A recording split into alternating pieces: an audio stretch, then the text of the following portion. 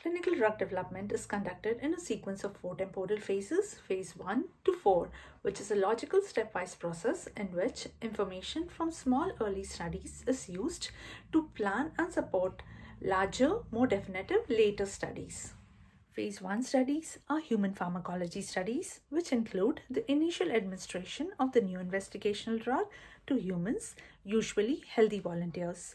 The main objective of Phase 1 study is to assess the safety and tolerability of the new drug, to describe the preliminary pharmacokinetics, which include absorption, distribution, metabolism, and excretion of the drug, and the preliminary pharmacodynamics. Phase 1 studies can also explore drug-to-drug interaction and effect of food on the bioavailability of orally administered drugs. If the phase 1 is successful and there's evidence of initial safety of the drug, then we move on to phase 2 trials.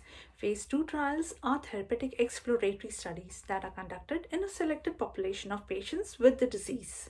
The main objective of phase 2 trial is to test the efficacy of the drug for the targeted indication, to find out the effective dose and the therapeutic regimen for subsequent studies, to refine the definition of the target population, and to gather additional information on the safety profile of the drug. The study design used in phase 2 varies from concurrent control to comparison with the baseline status. If the phase 2 trial is successful, then the drug goes to phase 3 study. Phase 3 studies are therapeutic confirmatory studies that are done on a larger number of patients with the disease.